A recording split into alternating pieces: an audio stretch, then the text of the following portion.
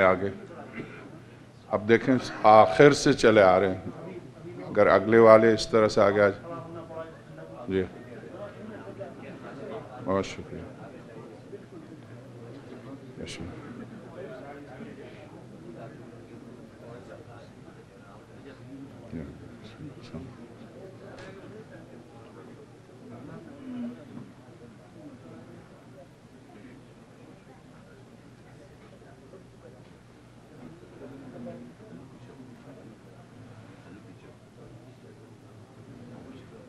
आवाजे बुलंद सलवात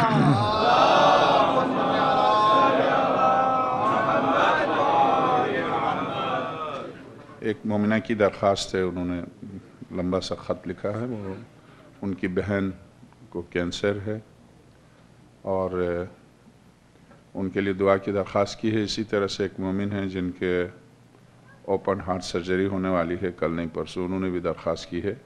चूँकि मसाइब के बाद बहुत मुश्किल है मजलिस के बाद बहुत मुश्किल है। वो फिर मजलिस की गर्मी ख़त्म हो जाती है। क्योंकि मजलिस के फ़ौर बाद मातम जो कि मजलिस ही का हिस्सा है। तो उसकी वजह से मैं नहीं चाहता हूँ कि बाद में मजलिस ठंडी हो और मातम शुरू हो। इसलिए पहले ही से आप सारे ममन ममनात जो बीमार हैं, और ये वाहिद जगह है जहाँ पर मासूम की दुआ शरीक है। इस बिना पर सब मिल के हम आय करीमा की तिलावत करते हैं इन शहजादी कौन सलवातम की अज़मत व इसमत व तहारत और उनका मकाम व बुलंदी का वास्ता देते हैं कि परवदिगार आलम हमारी इस दुआ को कबूल फरमाएँ और मोमिन ममनात जो बीमार हैं, उन्हें शिफा कामला अजलाता फ़रमाएँ। ख़ास तौर से जिनके लिए दरख्वास्त की गई है, पाँच मरतबा करीमा की तिलावत कीजिएगा। खुदा आप सब की मुश्किल को हल फरमाएँ। आउज़बिल्लिनशैतानरजीम बसमीम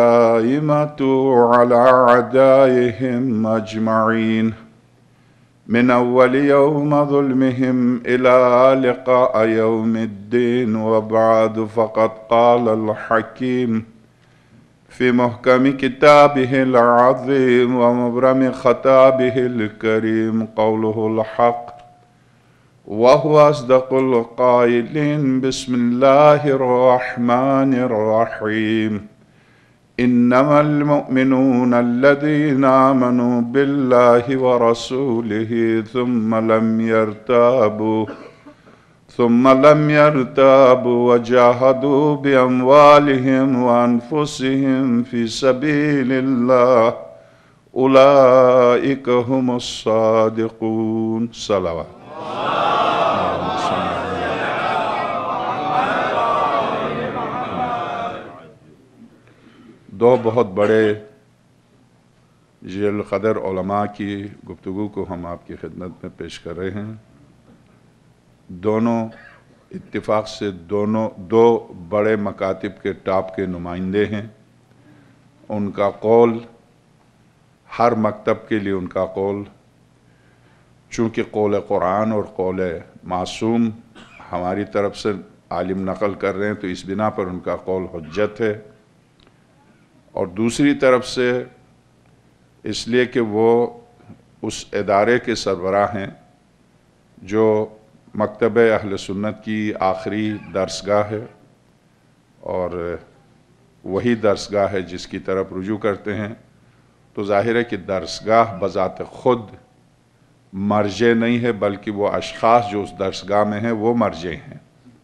तो इस बिना पर उस मकतब के आखिरी मर्जे की गुफ्तु हमारे मकतब के टॉप के मराजे की सतह से नीचे और तलबा की सतह से बुलंद हमारे, गोया ये ये अर्ज़ करूँ कि हमारे मकतब के दरमियानी आलिम और उस मकतब के आखिरी आलिम की गुफ्तु है।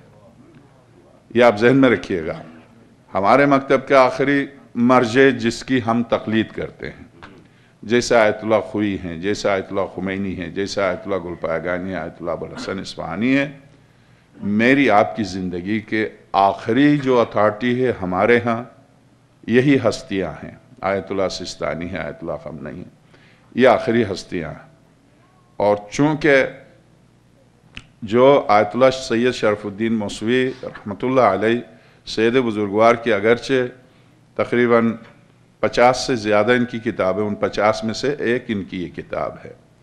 अन्नस वाल इश्तहाद के नाम से उनकी एक किताब है, और वो किताब भी बहुत अहम है, और बल्कि मैंने सोचा था कि उस पर जैसा कि मैंने अर्ज़ भी किया था कि उस पर गुफ्तु हो कि ख़ता इश्तहादी क्या है, कि चालीस हज़ार मुसलमान कत्ल आम हो जाए और ये कहा जाए कि उमुलमिन ने इश्तहादी ख़ता की। और एक लाख के करीब मुसलमान जंग सफ़ैन में कत्ल हो जाएँ और ये कहा जाए कि माविया ने ख़ता इश्तहादी की। मालिक बिन नुएर को कत्ल करके नवजुबिल्ला उसकी अहलिया के साथ जबर किया जाए और जब पलट का आए तो उमर कह दे बकर से इसे कत्ल कर दो और अबकर कह दे कि नहीं, इन्होंने ख़ता इश्तहादी किया। ये कौन सी ख़ता है जिसकी, जिस ख़ता के पर्दे में कातिल, फासिक व फाजिर को तहफ़ फराम किया गया? ये कौन सी ख़ता है? अगर यही ख़ता जो कातिल को पनाह दे और फिर मुश्तहिद भी हो तो इसी से आप उस मकतब को देखिए कि जिस मकतब में मुश्तहिद खालिद बिन वलीद जैसा शख्स मुश्तहिद ज़ाहिर है ख़ता इश्तहादी उसे कहते हैं जो मकाम इश्तहाद में मुश्तहिद ख़ता करे। तो जिस मकतब का मुश्तहिद खालिद बिन वलीद हो, उस मकतब की हकीकत को खुद आप समझ जाइए। और कहा भी किसने? हज़रत अबकर ने कहा। फिर दोनों ने भी खता इश्तिहादी किया। यानी अबकर का इश्तिहाद यह कह रहा था कि खालिद बिन वलीद ने खत, इश्तिहादी खता की है, उसको बचाया जाए। उमर का इश्तिहाद यह कह रहा था, नहीं यह वाजिबुल कत्ल इसको कत्ल किया जाए। यह अजब इश्तिहाद है। यह है इश्तिहाद। इस इश्तिहाद के ऊपर मुझे पूरा अशरा इसी इश्तिहाद पर पढ़ना था इनशाला जो तीसरा, चौथा अशरा जो यहाँ है, उसका अनुमान यही है। मैं इनशाला हसब वादा उस पर पूरी कोशिश करूँगा कि उसी पर अशरा पढ़ूँ। सफ़र का पहला अशरा जो हसब सबक यहीं पर है। तो उसमें मैं इस पर, सिर्फ़ उसी अनुमान पर गुफ्तु होगी कि इश्तिहाद क्या है मुश्तद कौन है ख़ता इश्तिहादी क्या है, तूल तारीख में किस किस ने क्या इश्तिहाद किया, और बहुत ऐसे मुश्तिन आपको मिलेंगे जिन्होंने गुनाहों में इश्तिहाद किया। बहरहाल तो हमें, उस पर हमें गुफ्तु चूँकि अगले अशरे में है तो उस पर मैं इस वक्त इत्तेफाक से मुझे मरहूम मौदूदी की किताब जो खिलाफत मलूकियत मिली और उसको मैंने जब बगौर मुताल किया तो फिर आगा साहब का फ़ोन आया, मैंने कहा, खिलाफत मलूकियत के अनवान पर हम गुफ्तु करेंगे। तो खिलाफत मलूकियत के अनवान पर मुझे गुफ्तु करनी थी। ये पाँच मजलिसें उस गुफ्तु के, चूँकि वो पूरी किताब जो खिलाफत मलूकियत है, वो असल में मेरी एक मजलिस में वो ख़त्म हो जाएगी। चूँकि वो एक ही मजलिस में ख़त्म हो जाएगी तो इस बिना पर मुकदमे के तौर पर मरहूम ने जो बड़ी मेहनत करके ज़िंदगी के आखिरी अयाम में वो किताब लिखी, तफ़ीमुल कुरान के बाद वो किताब लिखी और वो मंजर आम पर आई और मरहूम की सारी ज़िंदगी की मेहनत का नतीजा खिलाफत मलूकियत है।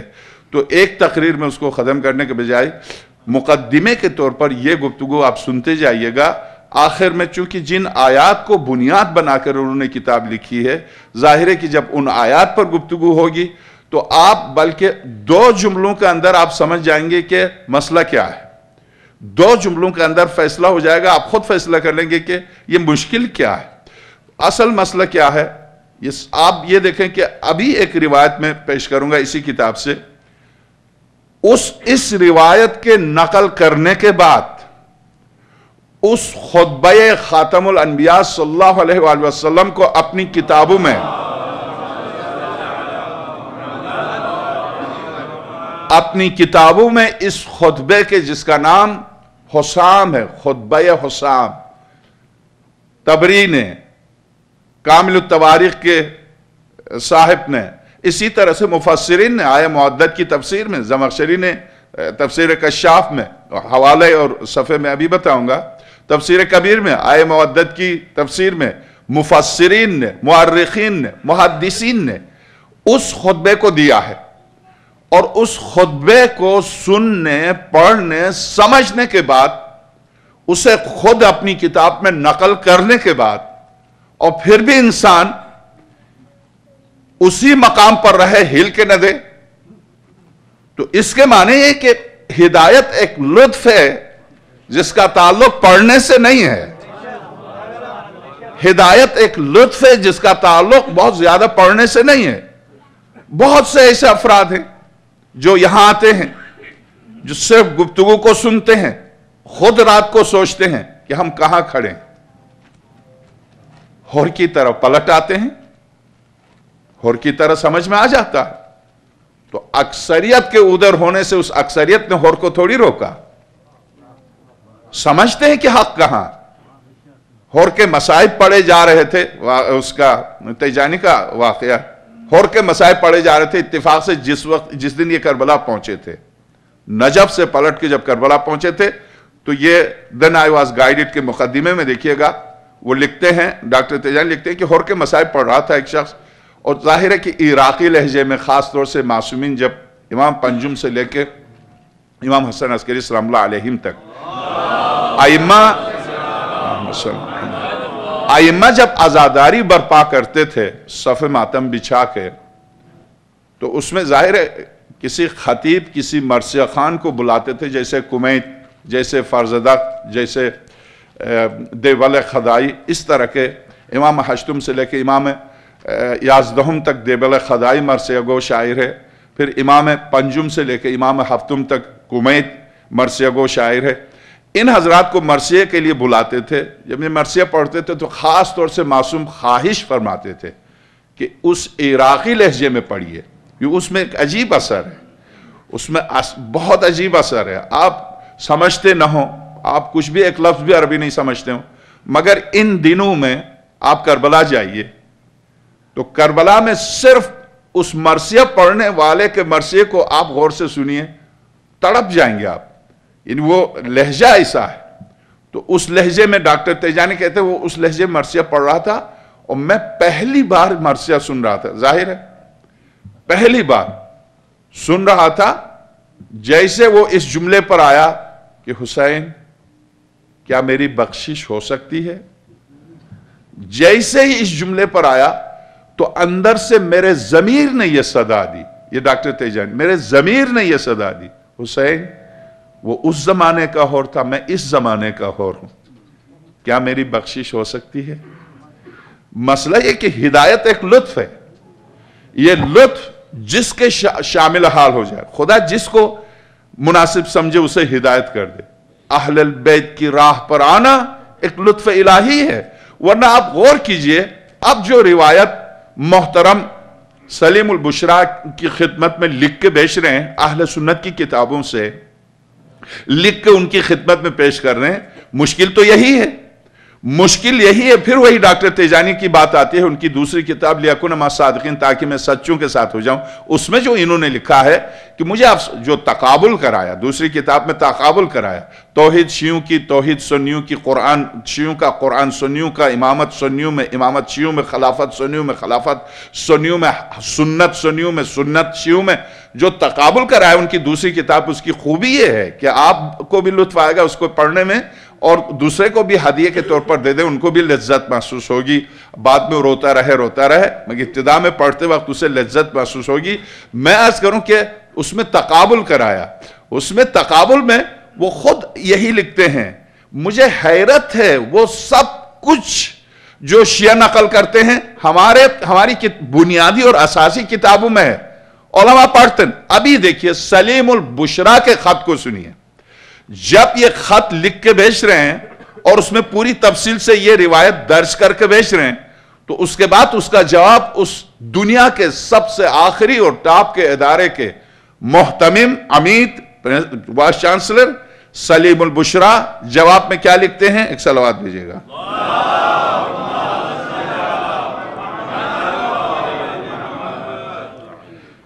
क्या अहल बैत सलवातुल्लाम के लिए। मेरे अहलबैत को ऐसा समझो जैसा बदन के लिए, आँखें सर के लिए, बदन के लिए सर और सर के लिए आँखें। और सर आँखों ही के ज़रिए राह पाता है। यह रिवायत सरवर कायनात का इरशाद। पैगंबर अक्रम सल्लल्लाहु अलैहि वसल्लम ने इरशाद फरमाया। देखो उनसे आगे न बढ़ना, वरना हिलाक हो जाओगे। न पीछे रह जाना, वरना हिलाक हो जाओगे। और उन्हें सिखाना, पढ़ाना नहीं, ये तुमसे खुद ज़्यादा जानते हैं। ये रिवायत, पहले चार दफ़ा ये रिवायत में पढ़ चुका, मुस्तनद तरीन बुनियादी किताबों से। एक एक रिवायत को चार चार, पाँच दफ़ा, इसलिए दोहराना पड़ रहा है कि हर किताब में, हर किताब के हवाले से, कि ये किताब मुस्तद अहमद इब्न हम्बल में, फलासफे पर, ये, यही रिवायत इमाम नसाई की किताब में फला सफ़े पर मुस्तदर के हाकिम में फला सफ़े पर, उन किताबों की वजह से एक रिवायत दोहराई जा रही, ताकि सामने वाला जाके पलट के देखे तो उन सारी किताबों में वो रिवायत उनको मिल जाए। इरशाद होता, मेरे अहल बैत को ऐसा समझो जैसा सर बदन के लिए और आँखें सर के लिए, और सर आँखों ही के ज़रिए राह पाता है। हवाला देख लीजिएगा अरबाब सुनन अहादीस की एक जमात ने जनाब अबूजर से बसिलसिल अहनात, असनात इस हदीस की रिवायत की है। और सब्बान ने अपनी किताब असाफ रागबीन में और शेख यूसुफ नबानी ने शरफ नबुआ सफ़ा इकतीस में नकल किया है। और भी बहुत से सिका ने उसे लिखा, यह हदीस नस सरी है कि बस अहल बैत ही को अपना अमीर व हाकिम समझा जाए। इन्हीं के ज़रिए हक तक हिदायत पाई जा सकती है। इसलिए कि जब सरवर कायनात की इरशाद फरमा रहे क्या मेरे अहल बैत सर और आँखों की तरह हैं बदन के लिए। क्या मतलब इसका? इसका साफ़ वाजे ये हवाले, साफ़ वाजे देखता आँखों के ज़रिए, सोचता जहन के ज़रिए। जहन और आँखों को हटा दीजिए, बाकी क्या रह जाता? अहल बैत को आँखें और सर करार देने के माने ये कि सर में जहन है। सोचता जहन से, देखता आँखों से। तो आँखें और जहन को हटा दीजिए, बाकी क्या रह जाता है? ढांचा। ढांचे की कदर कीमत नहीं है अगर जहन ना हो, अगर आँखें ना हो। जहन, आँखें जहन तक तस्वीर को मुंतकिल करती हैं। जहन सोचता है, फैसला करता है, काबिल हैफ्स उन तस्वीर को खजाने में रखता है, जो नाकाबिल हैब्स हैं, उन्हें वापस कर देता है। यह जहन का काम है, आँखों का काम है, रंगों को तशखीस देना, अशखास को तशखीस देना। तो अब आँखें भी आहल बैत, सर भी आहल बैत तो सर और आँखों को हटाकर आप, इसीलिए तो मौलाए कायनात ये जो इरशाद फरमा रहे हैं, अपने अशार में दीवान अली के नाम से जो हज़रत के अशार पर मुश्तमिल जो किताब छपी है उसमें, जो अपने इशार में कि तुम ये जितने इंसान चलते फिरते हैं, उन सबको इंसान मत समझो। ये चलती ये चलती फिरती लाशें हैं। ये चलती फिरती लाशें हैं। अन्नास मौता मिसरा इस तरह से, अन्नास मौता अमवात हैं ये लोग जो चल रहे हैं, फिर रहे हैं, बोल रहे हैं, सुन रहे हैं। उसके बावजूद ये अमवात है, इनमें इनका शुमार जिंदू में नहीं है। ज़िंदा कौन है? वह अहलुल इल्म। अबू ना, बहुत लंबी वो है, नज्म है हज़रत की। अबू ना आदम वाल उम हवा बाप आदम है। माँ हवा है, यहाँ से शुरू करते हैं, हज़रत पहुँचते हैं यहाँ पर कि अन्नास मऊता, ये लोग जितने तुम्हें ज़िंदा नज़र आते हैं, ये मईते हैं, इन सबको ज़िंदा मत समझो। इनके अंदर जो ज़िंदा है सही मानू में, वह अहियाऊ। उनमें ज़िंदा सिर्फ़ वो हैं जो एलुम रखते हैं। यहाँ एलुम से मुराद ये नहीं कि अबाकबा पहना हुआ हो। यहाँ एलुम से मुराद कम से कम इतनी शिनासाई रखता हो कि कहाँ से आया हूँ, क्यों आया हूँ, कहाँ जा रहा हूँ। मासूम ने फरमाया, जो शख्स इन तीन सवालात का जवाब रखता है, वो आलिम है। जो इन तीन सवालात का जवाब रखता है, वो आलिम है। कहाँ से आया हूँ? क्यों आया हूँ? कहाँ जा रहा हूँ? इतनी सी बात हर शख्स को सोचनी चाहिए, कहाँ से आया क्यों आया है? कहाँ जा रहा ये फितरत में है, ये इंसान की फितरत में है, ये तीनों सवालात। एक्सीडेंट के ज़रिए पहले भी दो दफ़ा अर्ज़ कर चुका मिस, ये मिसाल। एक्सीडेंट के ज़रिए बेहोश हो गया उठा के ले गया हॉस्पिटल आँख खुलते ही कौन क्या कहता है? कौन सी जगह है? क्यों लेकर आए हो? कब जाऊँगा? इंसानी फितरत में इसका मकतब मज़हब से कोई ताल्लुक नहीं है। अगर इन तीन ये तीन सवाल इंसान अपने आप से नहीं करता और इनका जवाब नहीं दे पाता तो उसको इंसानों से अलग कर दो। तो अब आप गौर कीजिएगा, यहाँ जो रिवायत अब जो आ रही है, मुझे उसी पर गुफ्तु करनी है। मेरे अहल बैत को ऐसा समझो, जैसे सर बदन के लिए और आँखें सर के लिए हैं, और आँखों ही के ज़रिए राह पाता है। अब हम यह भी इरशाद फरमाया, हम अहल बैत की मोहब्बत को अपने ऊपर लाजिम कर लो, क्योंकि जो शख्स खुदा से मुलाकाती हो और हमें दोस्त भी रखता हो खुदा आलम उसे हमारी शफात की वजह से जन्नत में दाखिल करेगा। कसम है उस मबूद बरहक की, जिसके कब्जे कुदरत पे मेरी जान है।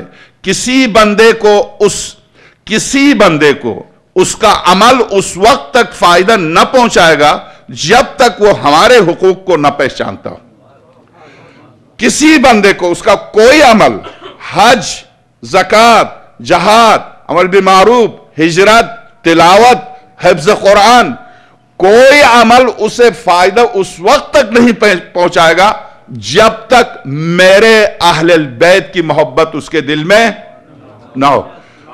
तो पता चला, नमाज़ पर नमाज़ पढ़े जाइए, रोज़े पर रोज़े रखते जाइए, हज पर हज किए जाइए, जक़ात पर जक़ात दिए जाइए। अगली रिवायत, इस रिवायत के पहले हवाले पेश करूँ यह रिवायत क्या सिर्फ़ मकतब अहल बैत में है या मकतबा अहल सुन्नत में। तबरानी ने इस हदीस को औसत में दर्ज किया और अल्लामा सयूती ने अहियामैत में, अल्लामा नभानी ने अरबईन फिल में और अल्लामा इबन हजर मक्की ने सवाक महरका में इसे नकल किया। जरा सरवर कायनात के इस जुमले पर अच्छी तरह सोचिए। यह आलिम जलकदर उन आलिम बुजुर्गवार से तवज्जो की दावत दे रहे हैं। जरा रसूल अकरम के इस जुमले को अच्छी तरह सोचिए कि किसी बंदे को उसका अमल उस वक्त तक फ़ायदा न पहुंचाएगा, जब तक वो हमारे हुकूक को न पहचानता हो। और खुदारा मुझे बताइए कि वो हक है कौन सा, जिसे खुदा आलम ने आमाल की सेहत के लिए शर्त करार दिया। मुझे ही समझा दें आप कि वो कौन सा हक है जिसे तमाम आमाल की कबूलियत के लिए शर्त करार दिया। वो हक कौन सा? वो आप मुझे समझा दें। अगर आप ये समझते हैं, अब आप गौर कीजिएगा, वो कौन सा हक है? हुकूक को पहचानता हो। और खुदारा मुझे बताई कि वो हक है कौन सा, जिसे खुदा आलम ने अमाल की सेहत के लिए शर्त करार दिया। क्या वो हक ये नहीं है कि हज़रत अहल बैत की इतबा और पैरवी की जाए, उनके अहकाम पर सर तस्लिम खम किया जाए, और उनके ज़रिए खुदा तक पहुँचा जाए, और सवा नबुअत और खिलाफत के सवाए इमामत और खिलाफत के, वो कौन सा हक हो सकता है जिसके असरात इतने हमगीर हों? लेकिन हमारा साथ तो ऐसी कौम से है जो तमुल और फ़िक्र से काम ही नहीं लेती। इन्ना लिल्ला व इन्ना राजून ये आगा का जुमला। इन्ना लिल्ला हमारा साथ ऐसी कौम से है जो ना फ़िक्र रखती है, ना होश, न गौर करती है, न तवज्जो। इन्ना लिल्ला व इन्ना राजून उसके बाद इसी को आल मोहम्मद की मार्फत अजाब जहन्नम से रहाई और उनकी मोहब्बत पुलस सरात से गुजर जाने का परवाना और उनकी विलायत अजाब से अमान है। रिवायत श, आ, हवाला शफा किताब शफा काजी अयास की किताब सफ़ा चार किस्म सानी मतबुआ हैदराबाद आस्ताना बारह सौ अड़तीस। आप समझ सकते हैं कि यहाँ मारिफत से मुराद महज उनके नाम और जात और उनके कराबदार कराबदाराना रसूल से होने को पहचान लेना नहीं है।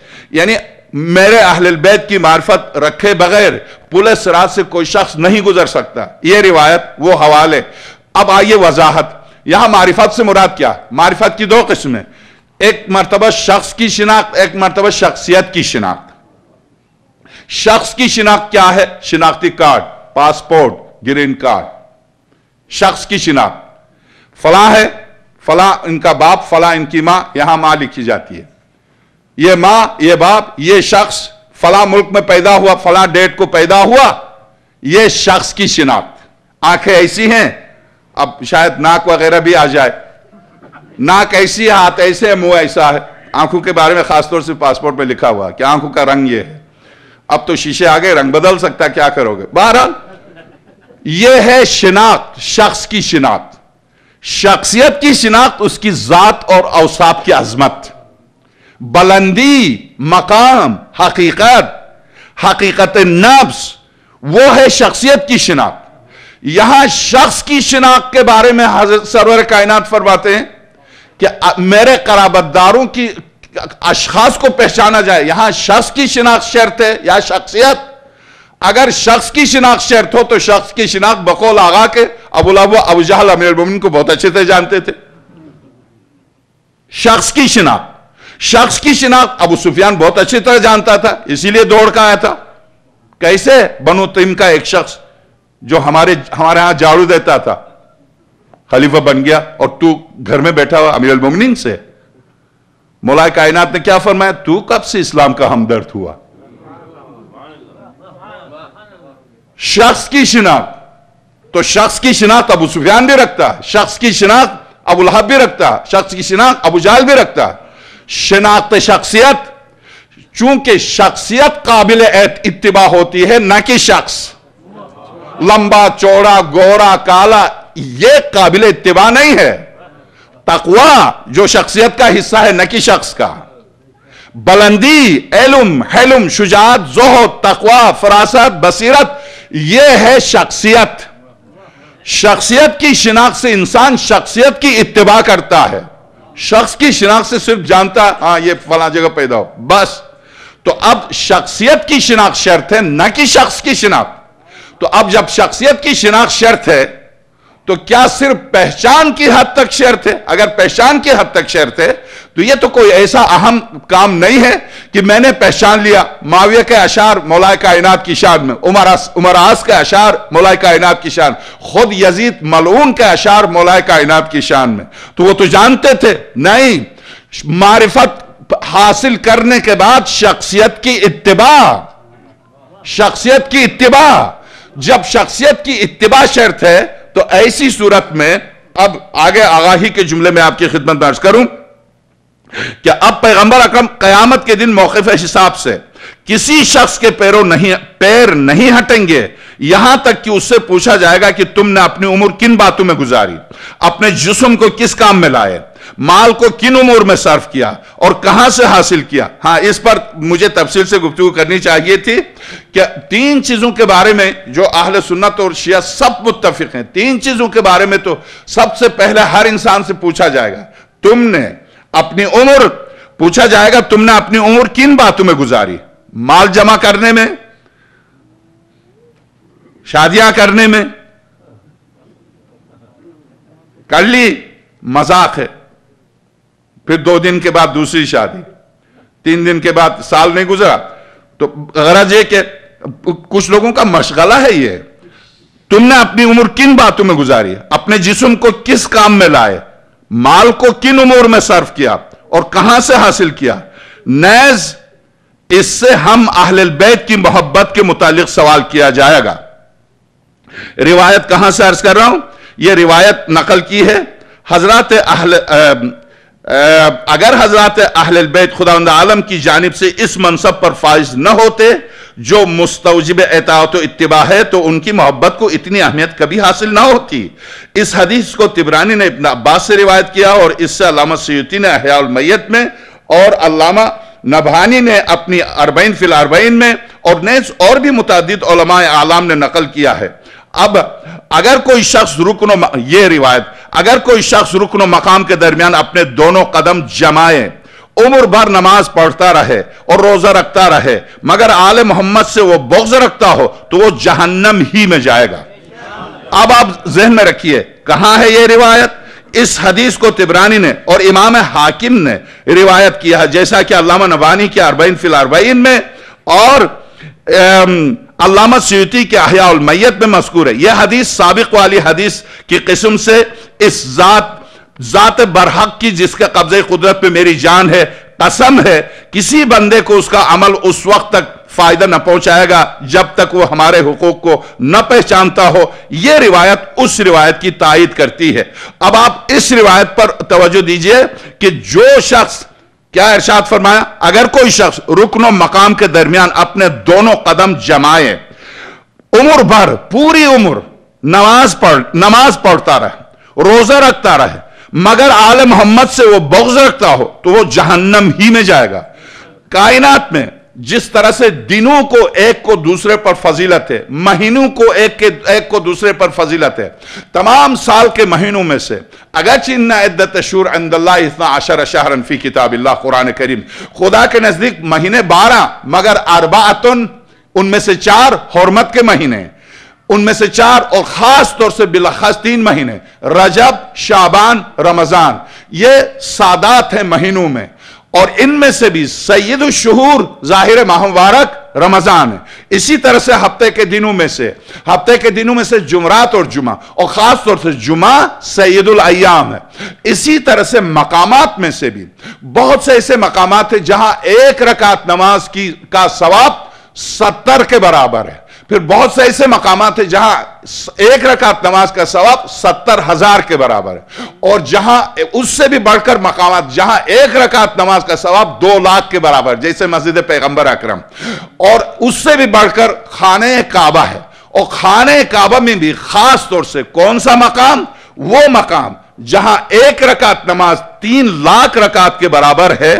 वो वही मकाम है जिसके बारे में इर्शाद हुआ कि वो मकाम मकाम इब्राहिम के पास, मकाम इब्राहिम पर हजर असवद के बिल्कुल सामने, मकाम इब्राहिम पर खड़े होकर अपने दोनों कदम जमाए, उम्र भर नमाज़ पढ़े, जहाँ एक रकात नमाज़ तीन लाख के बराबर है। वहाँ ज़िंदगी भर पैर जमा के नमाज़ पर नमाजें पढ़ ले। रोज़े से भी है, नमाज़ भी पढ़ रहा है। तो सरवर कायनात कसम खा के फरमाते हैं, इरशाद हुआ कि रोजा रखता है, मगर आल मोहम्मद से वो बोझ रखता हो तो वो जहन्नम में जाएगा। पता चला, नमाज़ की कबूलियत के लिए कुछ और शर्त है। हर अमल की कबूलियत के लिए नमाज़ शर्त है, और नमाज़ की कबूलियत के लिए क्या शर्त है? हर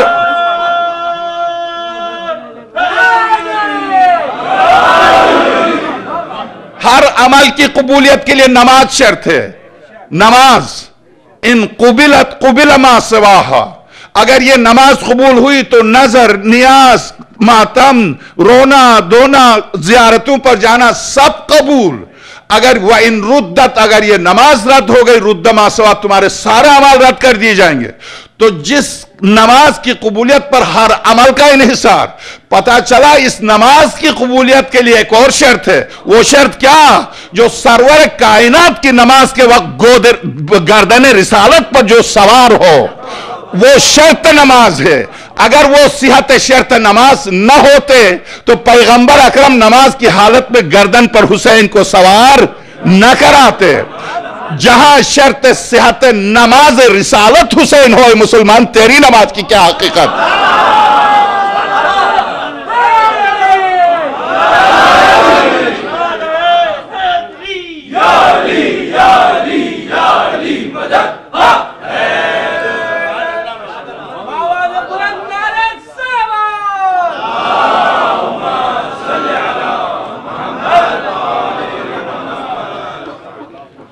यह भी इरशाद फरमे बस मैं इस रिवायत की खातिर मैंने आपको जहमत दी। इस रिवायत के बाद मेरी गुफ्तु खत्म। यह खुतबा है सरवर कायनात का। यह खुतबा जिसे हर मुआरिख ने, हर मुहदस ने और अजीब बात है, हर मुफसर ने, मालिकी, शाफी, हनफी मुफसरिन ने आय मुद्दत की तफसीर में इस खुतब सरवर कायनात को दिया है। हवाले में अभी अर्ज़ करूँगा, पहले सरवर कायनात का खुतबा और उसके बाद हवाले। इरशाद होता है। हमदो सना, दुरुद सलाम, सरवर कायनात और उनके आला पाक पर अनबिया साबिकीन पर। बेचने के बाद सरवर कायनात ने इरशाद फरमाया, जो शख्स मोहब्बत आल मोहम्मद पर मरेगा, जहन में रखिएगा, जो शख्स मोहब्बत आल मोहम्मद पर मरेगा, वो शहीद मरेगा। देखो, जो मोहब्बत आल मोहम्मद पर मरेगा, वो मकफूर मरेगा। मकफूर से मुराद बख्शा हुआ। जो शख्स उस आ, उसके गुनाह बख्श दिए जाएँगे देखो जो मोहब्बत आल मोहम्मद पर मरेगा गोया वो अपने तमाम गुनाहों से तोबा करके मरा। देखो जो मोहब्बत आल मोहम्मद पर मरा वो मोमिन और कामिल ईमान मरा। देखो जो मोहब्बत आल मोहम्मद पर जो मोहब्बत आल मोहम्मद पर मरा मलकुल मौत उसे जन्नत की बशारत देंगे। फिर मुनकर और नकीर जन्नत की खुशखबरी देंगे। देखो जो मोहब्बत अहल बैत पर मरा, जन्नत में यूँ सवार के ले जाया जाएगा, जैसे दुल्हन अपने खावन के घर ले जाई जाती है। देखो जो मोहब्बत अहल बैत पर मरा, उसके लिए कब्र में दो दरवाजे जन्नत के खोल दिए जाएँगे। देखो जो मोहब्बत अहल बैत पर मरा, उसकी कबर को अल्लाह जियारत गाह मलाइका और मलाइका रहमत बना देगा। देखो जो मोहब्बत आल मोहम्मद पर मरा, वो सुन्नत पर मरेगा।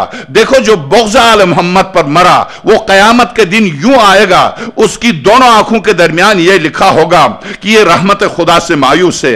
गरज की आखिर खुतबा तक आपने इसी की तोजी फरमाई। यह खुतबा हज़रत का खुतबा हुसाम के नाम से मशहूर है और तमाम मुहक्कीन अहल सुन्नत ने अपनी किताबों में इस खुतबे को दर्ज किया है। इस खुतबे में आ हज़रत ने बहुतों की तमन्नाओं पर पानी फेर दिया था। यह खुतबा जो सिर्फ़ अहल बैत की अजमत के बारे में सरोर को ने फरमाया, बहुत से जो तमन्नाएँ लिए बैठे थे, उन सब की तमन्नाओं पर पानी फेर दिया था। यहाँ पर रुक मैं हवाले करता पेश करता हूँ आपकी खिदमत में। इमाम सालबी ने इस हदीस को अपनी तफसीर कबीर में आय मवद्दत की तफसीर में जुरैर इब्न अब्दुल्ला बिजली से रिवायत किया है और अल्लामा जमकशरी ने अपनी तफसीर कशाफ में मुसलमात इस हदीस को मुसलमात से करार देकर इसको अपनी तफसीर कशाफ में दर्ज किया है। और इसी तरह से आगे, इस इबारत को आगे चलिए, मुल्ला ने इस हदीस को रिवायत की है, यानी सवाइक महरिका के मुसनफ इब्न हजर मक्की ने। रिवायत की है, सवाइक मोहरिका, बाब ग्यारह, जहाँ पर यह पूरा खुतबा दिया है, तकरीबन तीन चार सफात पर मुश्तमिल खुतबा दिया है। इस, अब इस खुतबे के बारे में आप गौर कीजिएगा। गरज ये कि आप आपका खुतबा हुसाम के नाम से मशहूर है और तमाम महक्कीन अहल सुन्नत ने अपनी किताबों में इस खुतबे को दर्ज किया है। इस खुतबे में आ हज़रत ने बहुतों की तमन्नाओं पर पानी फेर दिया था। इन अहादीस के कुल मजामी मुतवातिर हैं खसूस बतरीक अहल सुन्नत मुतवातिर और बिलाखस बतरीक अहल बैत। तो और ज़्यादा आ हज़रत ने आल मोहम्मद के इस कदर फजाइल जो बयान किए। अब मैं सवाल करता हूँ, इनकी मोहब्बत की इतनी ताकीद जो की, उनकी विलायत को बकर्रात, मर्रात, उठते, बैठते बयान किया। बयान जो किया, वो क्या सिर्फ़ इस वजह से कि ये हज़रत आपके अज़ीज़ व कराबतदार थे? क्या इस बिना पर? अगर इस बिना पर है तो यहाँ आगा से हट के मैं अपनी तरफ़ से, इस बिना पर कराबतदारों की बिना पर है तो अमीर ममनीन तो चाचाजाद भाई हैं। हज़रत अब्बास तो सगे चाचा हैं। एक रिवायत में भी हज़रत अब्बास का नाम लेके क्यों नहीं कहा, इनसे मोहब्बत करो। बार बार अली और औलाद अली के लिए क्यों कहा? यहाँ कराबतदार अगर मकसूद होते तो और भी तो कराबतदार थे। अब्दुल्ला इब्न अब्बास थे, जो सरवर कायनात की ज़िंदगी में पैदा हुए, जिन्होंने तालीम भी हासिल की सरवर कायनात से। उसके बाद मौलाए कायनात की शागिर्दी में आए। उनके बारे में कह देते सरवर कायनात, यहाँ मसला अजाए रिसालत का है, कराबतदारी का नहीं है। यहाँ पर जुज रिसालत का मसला है, कराबतदारी का नहीं है। तो अब ऐसी सूरत में इरशाद होता है कि हाँ, मैं आपसे सवाल करता हूँ, इनकी मोहब्बत की इतनी ताकीद जो की, उनकी विलायत को बकर्रात मर्रात उठते बैठते बयान जो किया, वो क्या सिर्फ़ इस वजह से कि ये हज़रत आपके अज़ीज़ कराबतदार थे? इस बिना पर तो रसूल की शान अवाम की शान से भी बहुत पस्त हो जाती है, बल्कि रसूल ने इतना एहतमाम उठते, बैठते, आए इंजार के नजूल से लेकर वफात तक जिन हस्तियों का तारुफ कराया, ये वही हस्तियाँ हैं जिनका तारुफ कुरान ने कराया। इसलिए किया कि ये हज़रत खुदा की मुकम्मल हुज्जत थे। ये ये हज़रत खुदा की हुज्जत थे। ये हुज्जत खुदा की हैसियत से पैगंबर तारुफ करा रहे थे। जुज चूँकि पैगंबर हुज्जत खुदा हैं, और मैंने अर्ज़ किया कि जुज रिसालत होने की बिना पर पारे रिसालत होने की बिना पर पैगंबर आक्रम ने यह एहतमाम किया कि उठते, बैठते, गजा खाते, बुलाते हुए, जाते हुए, एक साहबी, दो साहबा मशम आम, अस्सी हज़ार, जंग में, जंग से वापसी पर, सुलह के वक्त। आखिर कोई ऐसा मकाम नहीं जहाँ पर यह न फरमाया हो कि आपने खड़े होकर खुतबा दिया हो और अहल बैत का ज़िक्र न किया हो। पूरी ज़िंदगी में। तो इसका मतलब जहाँ तबलीग दीन की हैसियत से अहकाम पहुंचाते हुए अहल बैत को उन अहकाम का कुल करार देकर तारुफ करा रहे हैं। तो इसके माने इसका ताल्लुक अहकाम दीन से है, न कि रिश्ते से। इसका ताल्लुक सिर्फ़ दीन से है, न कि कराबतदारी से। कराबतदारी से, जैसा कि मैंने आज किया, हज़रत अब्बास, सरवर कायनात के सगे चाचा हैं, कहीं नहीं फरमाया। मेरे सगे चाचा इनसे मोहब्बत करो, जन्नत जाओगे। ठीक है, हमें मोहब्बत करनी चाहिए। यहाँ तक कि हज़रत हमजा चाचा हैं, कहीं नहीं फरमाया, मेरे चाचा हमजा से मोहब्बत करो, जन्नत जाओगे। सगे चाचा हैं। मगर यह ज़रूर फरमाया कि अली से मोहब्बत करो, जन्नत जाओगे।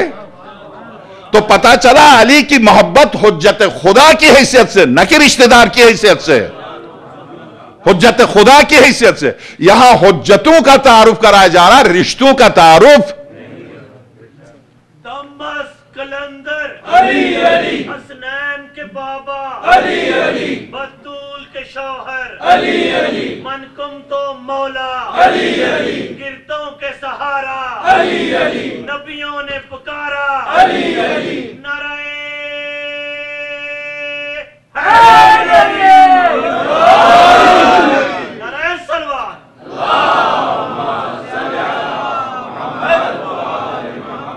यह सब इसलिए किया कि यह हज़रत खुदा की मुकम्मल हजत थे, उसकी शरीयत के सरचश्मा थे अमर नहीं में रसूल के काय मकाम थे और रसूल की हिदायत और तबलीग से असर पजीर होने का बहुत ही रोशन और वाजह नमूना थे। लिहाजा जो उनसे इसी हैसियत से कि ये हजत खुदा हैं, जानशीन रसूल हैं और रसूल इस्लाम का मुकम्मल तरीन नमूना है, मोहब्बत करेगा, वो खुदा की भी मोहब्बत रखने वाला होगा और रसूल की भी मोहब्बत रखने वाला होगा। जो उनसे बोझ रखेगा, वो खुदा से भी बोझ रखने वाला है और रसूल से भी।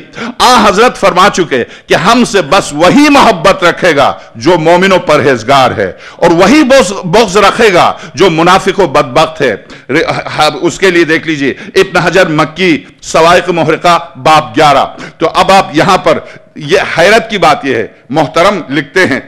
जब, ए इब्न हजर मक्की, जब ये खुतबा आप लिख रहे हैं, और ये आप लिख रहे हैं ये अहल बैत, चूँकि, और हैरत की बात ये हजत जो हजत लिखा, ये भी इतना हजर मक्की लिख रहा है कि ये खुदा की हजतें हैं, इसलिए पैगंबर तारुफ करा रहे मैंने कहा, हिदायत लुत्फ है।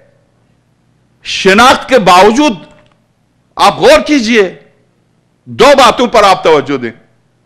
इब्राहिम सलवातुल्लाह के बेटे हैं इस्माइल इसाक दुरुस्त नूह के बेटे, वो नूह भी नबी मुरसलीन में से, नूह के बेटे बरहरास उनके बेटे, इब्राहिम खलील उनके बेटे, इस्माइल और इसहाक बरहरास उनके बेटे, याकूब के बेटे, यूसुफ, बिन्यामीन, याहू, इसी तरह से बारह हज़रत याकूब के बेटे, ग्यारह हज़रत याकूब के बेटे, सब बेटे मगर नबुअत शिनासी में आप गौर कीजिए, हक शिनासी में गौर गौर कीजिए।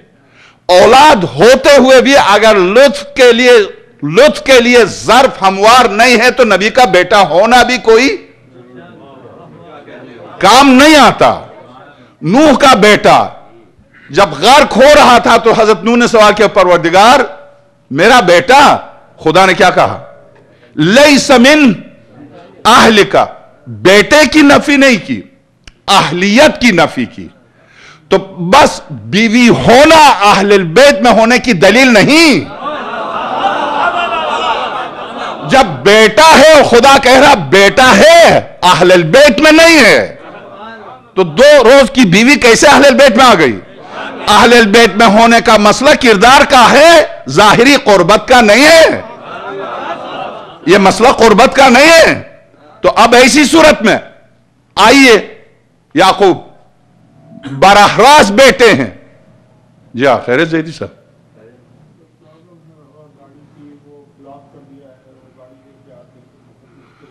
मोमिन से ख्वाहिश है कि गाड़ी ब्लॉक, गाड़ी की वजह से वो ब्लॉक हुआ है और हमारे जैद साहब और मुंतजमीन परेशान हैं। आप हजरात से ख्वाहिश है जिसने ब्लॉक किया वो। जब आप पासमोर रोड के ऊपर आते हैं तो वहाँ के ऊपर जो होंडा की डीलरशिप के लिए जो रास्ता मोड़ा है वो पूरा रोड ब्लॉक है। उनका ट्रक आता है जिन साहब की गाड़ी ने उस रोड को ब्लॉक किया सिर्फ़ वो उठ के चले जाएँ बरा करम वरना उनकी गाड़ी टो हो जाएगी अभी।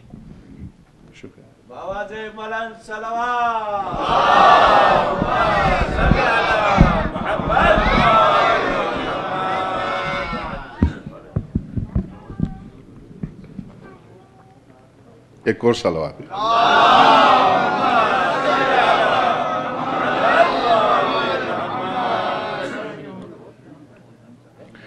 अब आप देख लीजिए, मुकम्मल तरीन नमूना मोहब्बत करेगा वो खुदा की मोहब्बत भी रखने वाला होगा, और रसूल की मोहब्बत भी, और जिनसे बॉक्स रखेगा वो खुदा से भी, बॉक्स रखने वाला और रसूल से भी। आ हज़रत फरमा चुके हैं कि हमसे बस वही मोहब्बत रखेगा जो मोमिनो परहेजगार है। और वही बॉक्स रखेगा जो मुनाफिक और बदबक है। इब्न हजर मक्की सवाइक मोहरका, बाप ग्यारह, जहाँ से यह तफसीली गुफ्तु मैंने पेश की। और इसी वजह से फर्जदक ने फर्जदक जो शायर था आका इमाम जैन सलवातुल्लाह के जमाने का, उस, इसी वजह, यानी तूल तारीख में अहल बैत को जो समझते थे, वो इस अंदाज में समझते थे कि ये हजत खुदा है। वो इस अंदाज में नहीं समझते थे कि ये रसूल के करीबी रिश्तेदार हैं। रसूल के करीबी रिश्तेदार दुरुस्त हैं। मैंने अर्ज़ किया कि रसूल के करीबी रिश्तेदार होने की बिना पर अगर इज़्ज़त और एहतराम की अहलियत पैदा होती है, दुरुस्त है। दुनिया में शहजादों का एहतराम किया जाए गुंगा है, लूला है, लंगा, मगर शहजादा है। शहजादा है। मरने वाली है, मगर मलिका है। जब तक नहीं मरे, मलिका है। यहाँ हम दीन पर गुफ्तगु कर रहे हैं। हम एक दीनी निज़ाम पर गुफ्तगु कर रहे हैं, हम एक कुरानी गुफ्तगु कर रहे हैं। आप कुरान करीम की रूह से देखिएगा कि जब नूह का सगा बेटा नबुवत से आशना नहीं होता है और कुरान कहता अहलियत नहीं रखता ये। आहल नहीं है, बेटा है आहल नहीं है। आइए ये एक मिसाल नहीं कि आप कहें कि ये तो एक मिसाल है। शाज है नादिर है सुर यूसुफ अब आप गौर कीजिए, जब हज़रत याकूब बार बार फरमा रहे हैं, जाओ, तलाश करो, यूसुफ ज़िंदा हैं, मिल जाएँगे, तलाश करो जाओ। तो बेटे क्या कहते हैं? बेटे कहते हैं इन नकलफी जलाल कल कदीम। बाबा पुरानी गुमराही में हैं। बेटे हिदायत याफ्ता हैं, याकूब। यहाँ भी कुछ इसी तरह से है। हम गुमराह हैं, वो हिदायत याफ्ता यहाँ भी कुछ इसी तरह से है। यानी आप ये दीजिए, हकायक को लिखने के बावजूद ये कहना, कबूल करने के बावजूद ये कहना, अब आप देखिए, याकूब के बेटे हैं। जब हज़रत यूसुफ की कमीस आई कमीज से यूसुफ, हज़रत याकूब के चेहरे पर डाल दी गई।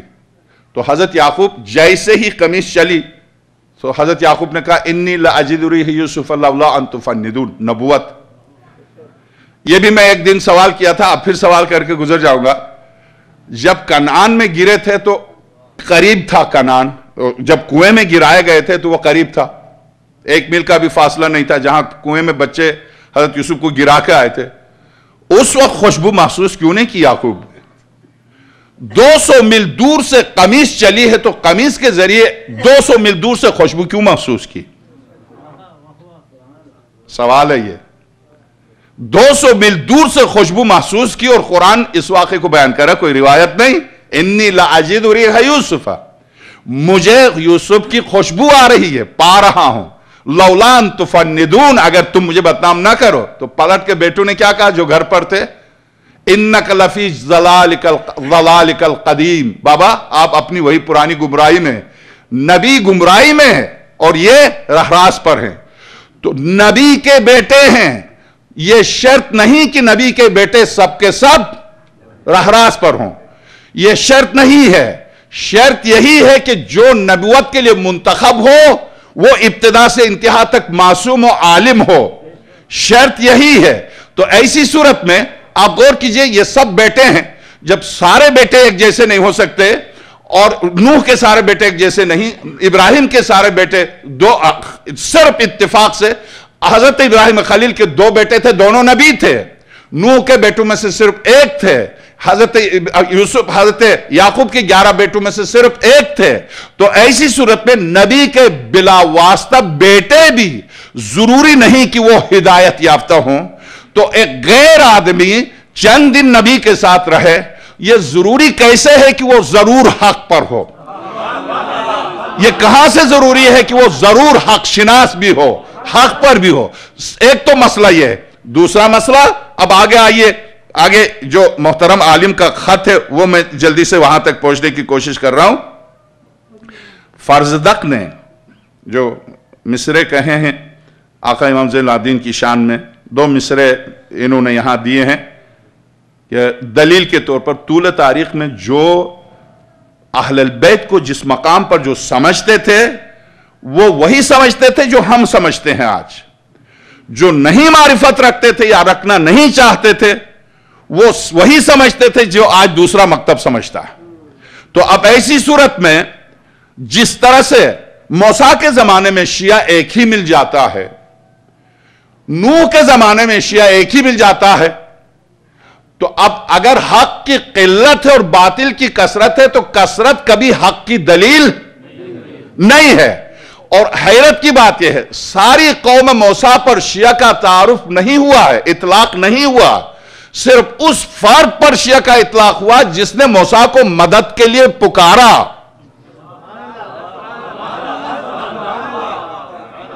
बहरहाल हो सकता आप थक गए हों। यहाँ हमारे एक नौजवान खतीब की खतावत का एक जुमला मुझे याद आता है कि वो, मैं पहली बार उनकी खतावत मैंने सुनी और उन्हीं से मैंने ये सीखा कि मैं क्या कह गया।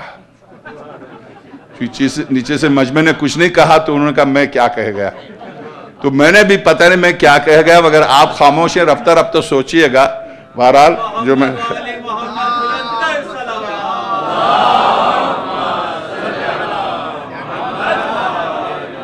कौन है अहल बैत? जब मेरे चौथे इमाम हरम में दाखिल हो रहे थे। होशाम इब्न अब्दुल मलिक इब्न मरवान लानतुल्लाह अलैहिम, जब उस बादशाह तो कत्ल, गारत, दबदबे के साथ जा रहा था, उसे जगह नहीं मिली। हरम इलाही में जगह नहीं मिली उसे हजर असवद तक नहीं पहुँच सका। मजबूर होकर कोह अबू कुबैस के ऊपर जाके कुर्सी पर बैठ गया। देख रहा था नीचे, उस वक्त दीवारें बुलंद नहीं थी कोई। अब ये और बात है कि खाने काबा चूँकि मस्जिद हराम इतनी बड़ी मस्जिद है ज़ाहिर है उसकी छत नहीं है और उसकी दीवारें भी उस वक्त नहीं थी बाद में बनाई गई हैं। अब पता नहीं एक दिन छत भी डल जाए।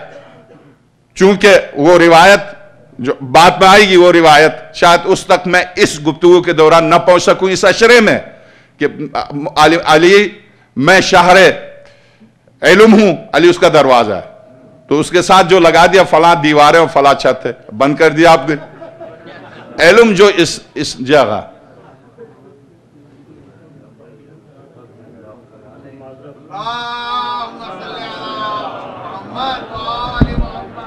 देखिए ममनी जो हमारी बहुत बड़ी प्रॉब्लम है। बहुत डिस्टरबेंस होता है मजलिस में।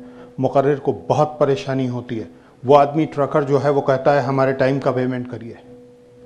क्योंकि वो टाइम के हिसाब से चलते हैं। ये दो गाड़ियाँ अभी तक नहीं हटी हैं। A X D N four six three Mazda है एक A V Y H zero one four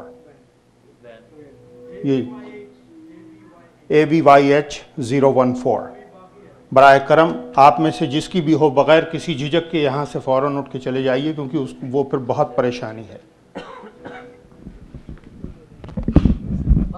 बुलंद सलावत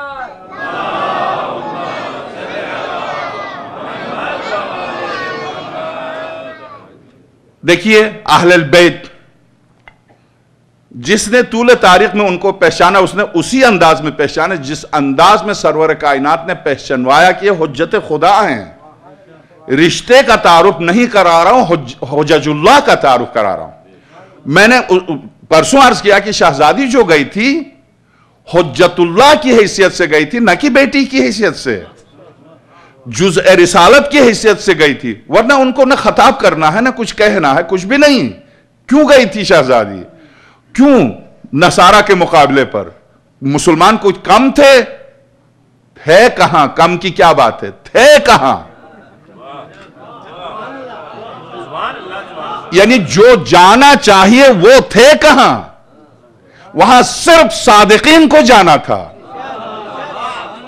ज़िंदगी की पैदाइश से लेकर आखिरी लम्हे तक जो सादिक हो, उनको जाना था। इसलिए कि आयत के आखिर में, फन्नाजाल लानतल्लाह कादिबीन। बदुआ की सूरत में हम क्या करेंगे? झूठों पर लानत भेजेंगे। तो किस तरह से? वो सरवर कायनात, जब यही नसारा नजरान, जब आए थे मुबाहिले के लिए। पहले दिन जब आए तो खातमुल अनबिया ने सलाम का जवाब नहीं दिया। सब जानते हैं ये तो आपको माशाल्लाह से हैब से माजरत के साथ। मैं अपनी अगली मंजिल के लिए तकरार कर रहा हूँ। जब आए थे तो सलाम का जवाब भी नहीं दिया। क्यों नहीं दिया? यानी यह तक नहीं पता था। जो बाहर जो मिले उन साहब को यह तक पता नहीं था, क्यों नहीं दिया?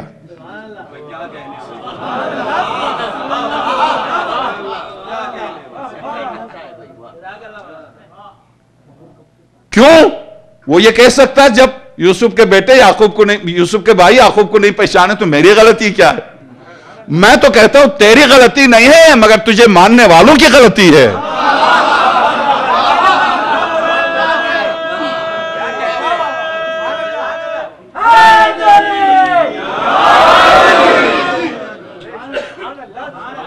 तूने तो हर मकाम पर अपनी जहालत का एतराफ किया।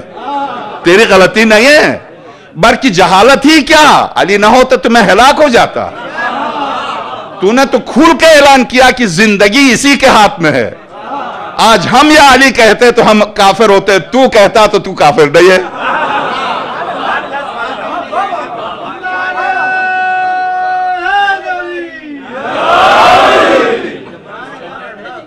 जी आगा तो अब आप गौर कीजिए, बहरहाल जब मेरे आका जैन आबदीन सलाम हरम में दाखिल हुए।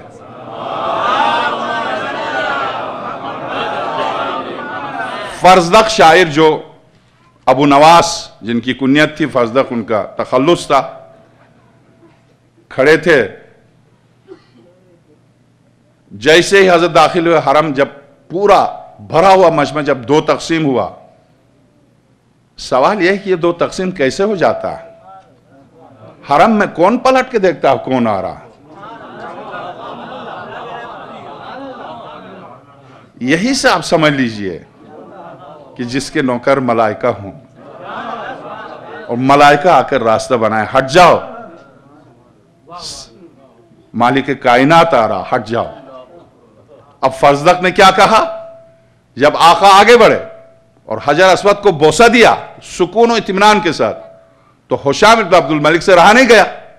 उसने कहा, मन हाजा, कौन है ये? जानता था। जब उसने कहा, कौन है ये? तो शायर अहल बैत ने, फर्जदक ने क्या कहा? दो मिसरे दिए हैं, वो पूरा चालीस मिसरों पर चालीस बंद हैं उसमें। और मेरे चौथे इमाम ने फरमाया कि फर्जदक तुझ पर इल्हाम हुआ था उस वक्त। इल्हाम हुआ था। वाकन इल्हामी जबान उसने इस्तेमाल की। माशर हब्बिहिम दीन व बगज़िहिम कुफ्रन व क़ुरबिहिम मुंजिन व मुतसिमु इन उद्द अहल तुका कानु अइमतुहुम औ क़ील मन खैर अहल उन्होंने शुरू किया, अगर तू जाहिल है, कि पूछा जा रहा है, मन हाजा, ये कौन है? मन हाजा, ये कौन है? यहाँ से उन्होंने शुरू किया कि देखो, पूछा जा रहा है कि कौन है ये? वहाँ से फजदक ने शुरू किया है और कहा कि इनकुन ज़ाहिर आ, मैं तुम्हें बताता हूँ होश्याम मेरी तरफ़ मुतवजह हो, हो जा मैं तुम्हें बताता हूँ ये वो है जिसे हरम भी जानता है और काबा भी जानता है जिसे हजर हजर असवद भी जानता है और काबे की ज़मीन भी जानती है। ये वो है मुझे हैरत इस बात पर है ये क्यों हजर असवद की तरफ़ बढ़ रहा ये तो वो है जिसके लिए हजर असवद को बढ़ना चाहिए। ये वो है। इन इन इन मिसरों के बाद जब इस मिसरे पर आए तो आगा को शायद ये दो मिसरे बहुत पसंद थे, इसीलिए इन्होंने ये मिसरे दिए। मिन माशर हब्बिहिम दीन व बगज़िहिम। होशाम ये वो है कि जिसकी मोहब्बत का नाम दीन है। जिसकी मोहब्बत का नाम दीन है, मिन माशर हब्बिहिम दीन व बगज़िहिम कुफ्रन। और ये वो है जिससे अदावत और बग्ज वाकई कमाल है।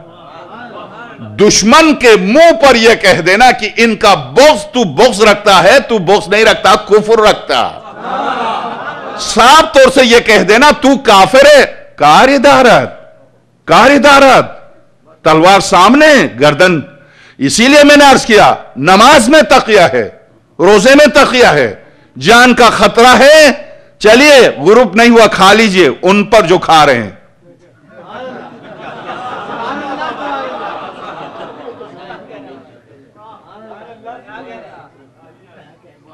बाँध दिए हाथ। अगर जान का खतरा है इज़्ज़त और आबरू का खतरा, हाथ बाँध लीजिए। चंद लम्हे के लिए आप भी ये दिखाइए, पेट में मेरे भी तकलीफ़ है।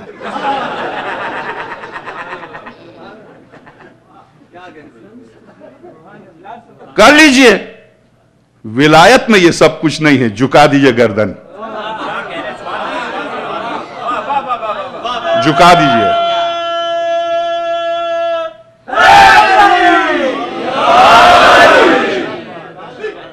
क्यों इन उद्द अहल तुका कानो आई मत हम कील मनफिल अर्ज़ कीलहुम अगर यह पूछा जाए इन उद्द अहल तुका अगर पूरी कायनात से मुत्तकियों को चुना जाए तो कानो आई मत हम उन उन साहिबान तकवा के ये इमाम हैं ये मुत्तकी नहीं मुत्तकियों के इमाम हैं इन उद्द अहल तुका कानो आई मत हम उस आखिरी में अवकील मन खैर अहल अर्द अगर ये पूछा जाए रूए ज़मीन पर अफजल कायनात कौन है तो ये होशाम हर मुसलमान अगर मुसलमान है तो वो यही कहेगा कीलहुम सब कहेंगे यही तो है अफजल कायनात यही तो है अफजल कीलहुम अब आगे लिखते हैं कि हाँ दुश्मनी अमीर मोमिन सलवातुल्लाह फरमाते मैं और मेरी पाकिजा नस्ल और मेरी नेकोकार इतरत बचपन में तमाम लोगों से ज़्यादा हलीम और बड़े होकर सबसे ज़्यादा इल्म वाले हैं और हमारे ज़रिए से खुदा झूठ को जायल करेगा, हमारे ज़रिए से खूनखार बेड़ियों के दान तोड़ेगा, हमारे ज़रिए तुम्हें रहाई दिलाएगा और तुम्हारी गर्दनों की रस्सी जुदा करेगा। खुदा हमसे इब्तदा करता है और हम पर इंतहा करता है। हम ही इब्तदा हैं और हम ही इंतहा। अनल अव्वलु, अनल आखिर। कुरान करीम में जो खुदा ने इरशाद फरमा मैं अव्वल हूँ, मैं आखिर हूँ। कुफर है ये कि मैं ये तस्वूर करूँ कि खुदा अव्वल है, खुदा का आखिर है।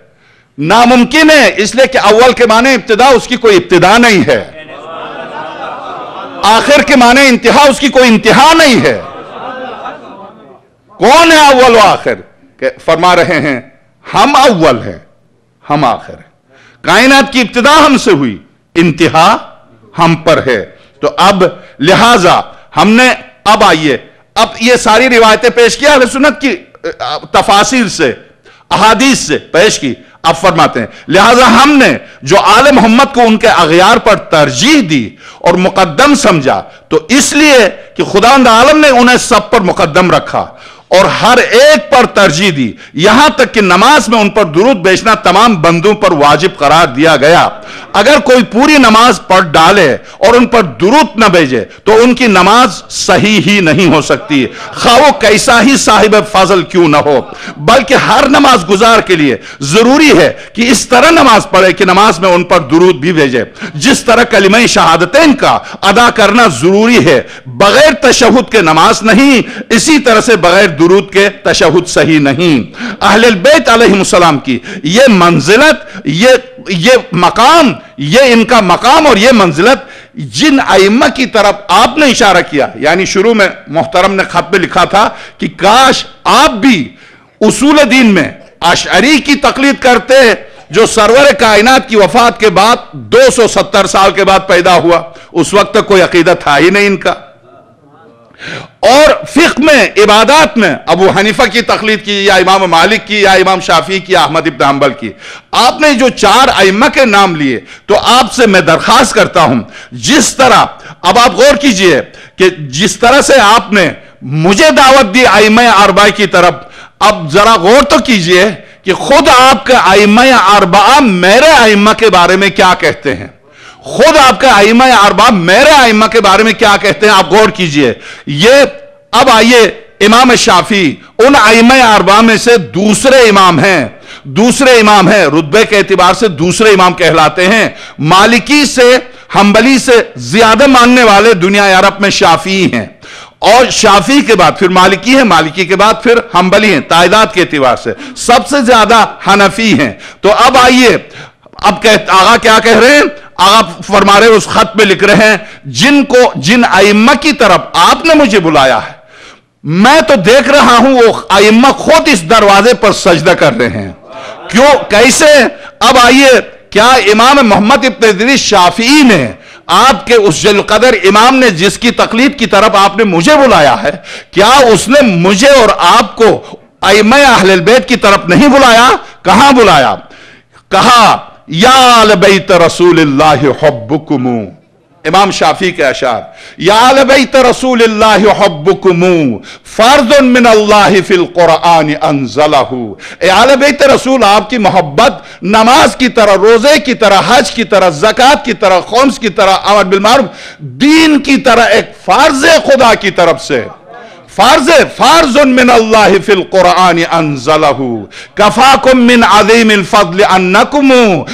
मल्लम युसल्ली अलैकुम ला सलात लहु ए आले बैत रसूल ए अहल बैत आपकी अजमत के लिए यही काफ़ी है कि नमाज़ में अगर मैं शाफी भी दुरूद न भेजूं तो मेरी इमामत क्या नमाज़ ही नहीं?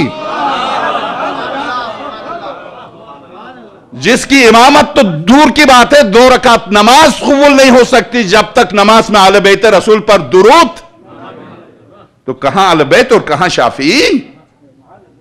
इमाम अबू हनीफा को लीजिए। क्यों जिंदान में तड़प के मरे?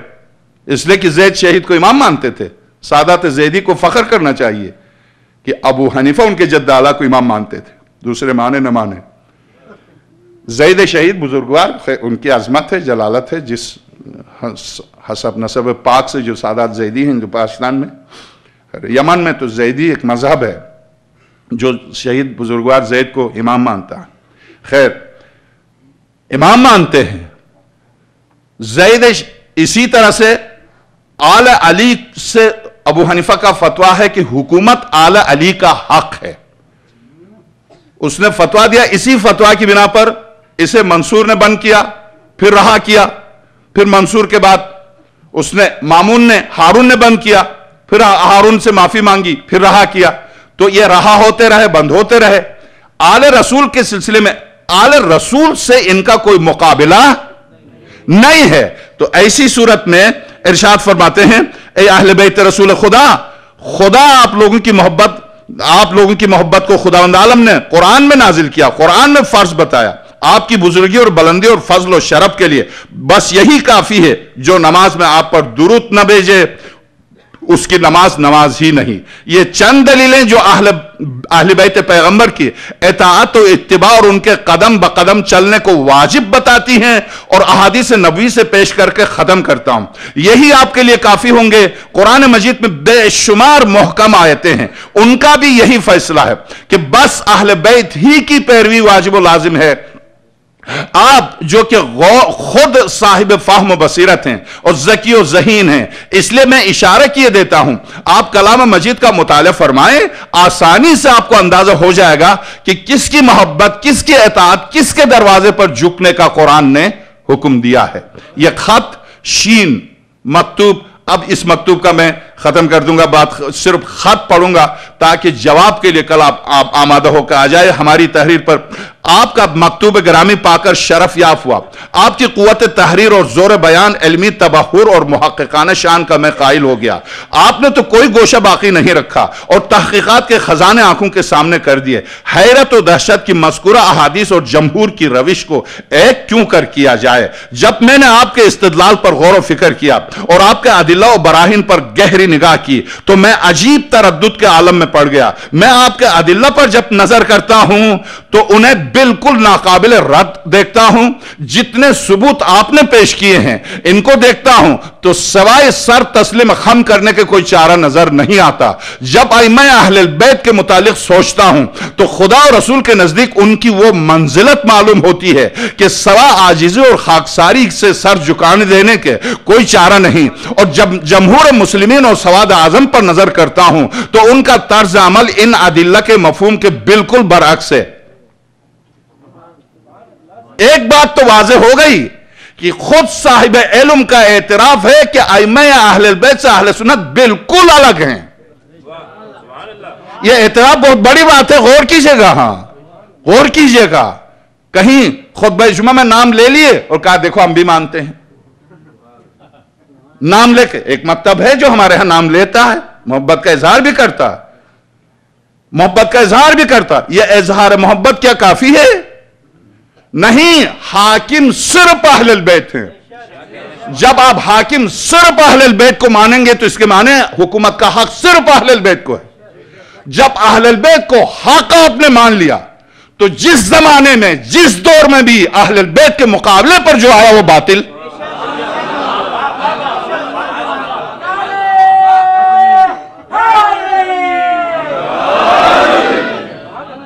सरवर कायनात का इर्शाद। मनगशा लई समिन्ना जो मिलावट करे वो हम में से नहीं है।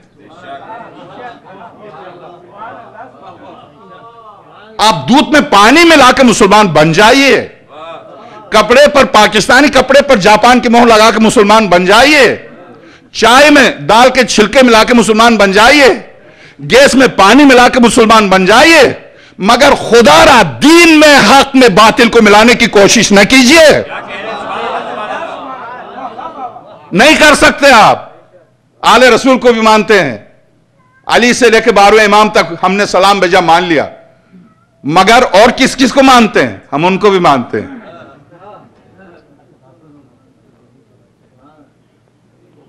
तो अब फैसला कुन? नहीं, लेकिन दूसरा, गोया अब यह अजीम आलिम जल कदर जो लिखते हैं। तो खुदा और रसूल के नज़दीक उनकी वो मंजिलत मालूम होती है। कि सिवाय आजजी और खाकसारी से सर झुका देने के कोई चारा नहीं। और जब जमहूर मुस्लिम और सवाद आज़म पर नज़र करता हूँ तो उनका तर्जामल इन अदिल्ला के मफहम के बिल्कुल बरक्स है, जिद है। अदिल्ला बताते हैं कि बस इन्हीं की पैरवी वाजिब है। और जमहूर हर कसो नाकस की पैरवी करने पर तैयार, लेकिन अहल बैत की पैरवी पर आमादा नहीं। मैं अजीब कशमकश में मुबतला हो गया हूँ। दो नफ्सों की खींचातानी में पड़ गया हूँ। एक नफ्स कहता है कि अदिल्ला की पैरवी की जाए और दूसरा कहता है कि अक्सरियत और सवाद आज़म की रविश पर चलना चाहिए। एक नफ्स ने तो अपने आप को आपके हवाले कर दिया है और आपके हाथ से जाने वाला नहीं। लेकिन दूसरा नफ्स जो है, वो वो अपने इनात की वजह से आपके हाथ में जाने पर तैयार नहीं और नाफरमानी पर तुला हुआ है। कलाम मजीद से अदिल्ला की ख्वाहिश। आप किताब खुदा से कुछ ऐसी कतई दलीलें पेश करते जो ये सरकश नफ्स भी काबू में आ जाता और अपनी राय आमा की मुताबियत की धुन दिमाग से निकल जाती। तो अब जो कुरान से अदिल्ला पेश किए हैं, मैंने आपसे वादा किया था, माफ़ कीजिएगा, वो वादा ही क्या जो? जो वफा हो है, वफा न हो नहीं है। शरअन जो वफा न हो सही, मगर शायर के शायर के कलाम में हम तब्दील नहीं कर सकते। वाद, वो वादा ही क्या जो? तो इस बिना पर आज चूँकि ये रिवायत हज़रत का ये खुतबा अहल बैत के सिलसिले में, जिसे तमाम अहल सुन्नत ने नकल किया है, उसकी वजह से वो कुरानी अदिल्ला, जिसकी ख्वाहिश की कि कुरान करीम से दलाल पेश कीजिए कि सिर्फ़ इत्तिबा सिर्फ़ अहल। रिवायात में मान गया। रिवायात के सामने मैंने सर तस्लीम खम कर लिया। अब सिर्फ़ सर में एक धुन है, वो क्या? अक्सरियत और सवाद आज़म का। यही तेजानी का मसला है। यही इस्माइल देवबंदी का मसला था। यही मजल हक देवबंदी का मसला था, यही अब्दुल गफूर देवबंदी का मसला था, यही जो देवबंद से पलट, यही हुसामुद्दीन जो जदीद वहाबियत के इदारे का टॉप का आलिम जो शिया हुआ है, उसका मसला था, और इसी मसले की बिना पर हमें काफिर करार दिया, और जब हमारी, अब जब शिया हुआ और जब किताब लिखी, रहलती मिनल वहाबियत शिया, मेरा सफ़र वहाबियत से शिया की तरफ़ तो अब उस किताब में लिखा कि अगर किसी ने मलाइका को ज़मीन पर चलते हुए नहीं देखा है तो वो शियान अली को देखे। ये हुसामुद्दीन की किताब, रहलती मिन मिनल वहाबियत शिया, जहाँ से जुमला किया कि हम ही वो काफिर थे, जब ये शिया हुआ तो हम ही वो हैं जो हम मलाइका हैं। रूए ज़मीन पर चलता हुआ जिबिल अमीन रूए ज़मीन पर चलता हुआ मेकाइल रूए ज़मीन पर चलता हुआ इसराफील और रूए ज़मीन पर चलते हुए इसराइल अब हम, कल हम इसराइल खुदा ना खास्ता क्यों?